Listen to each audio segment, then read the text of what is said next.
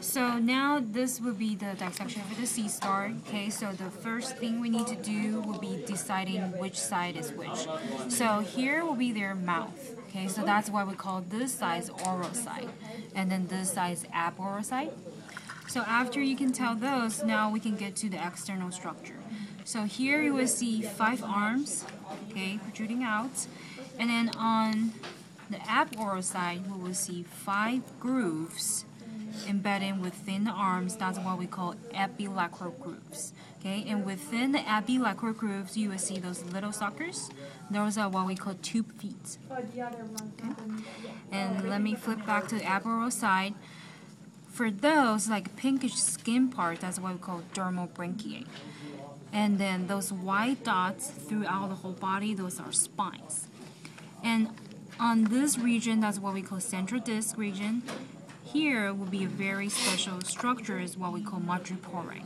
You will see the texture will be different from spine because this one's kind of whitish and flat, but for spine is kind of like little bumps and it's throughout the body. Okay, usually madreporite is only found on central disc. And then other than that, you would need to know if you look at the end of the arms, you will see something flipping ups. That's what we call ocelli. Ocelli is actually acting as their eyes. So they cannot actually see but they can touch the surrounding to see what's happening in the environment. Okay, so that's pretty much about the external. And then now let's move into internal. Okay, so that's just what we say that's the central disc. And then um, actually the madreporite for this part is actually been took out. Okay, so if I remove the central disc, you will see the internal structure, structure being exposed. And then they have two stomach. Okay, so for the one on top, this one is actually what we call pyloric stomach. And then if you see the pyloric stomach being removed, the one on the bottom, this one is actually cardiac stomach. Cardiac stomach is the one they push out through the mouth and digest the food and then put it in. Okay, so after you see those two stomachs, now you focus. Now you're looking at the mouth. Around the mouth, you will see five rings. That's what we call ring canal. Okay, so ring canal will be this region. And if you go along the ring canal, you get into the arms. When you get into arms, you will see these two very distinct structures surrounding the central area. That's what we call pyloric ceca.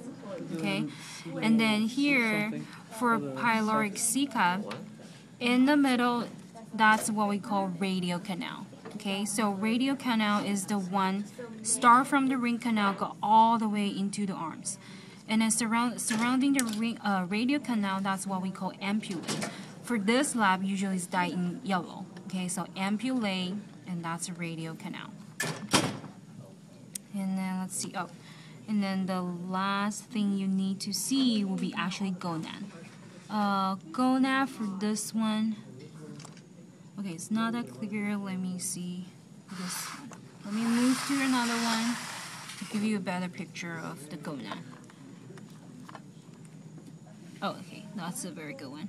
Okay, so for this one, you will see the gonad is actually separate from the pyloric ceca and is at the origin of the radial canal. Okay, so let me see on this side if I can find one. Yeah, here.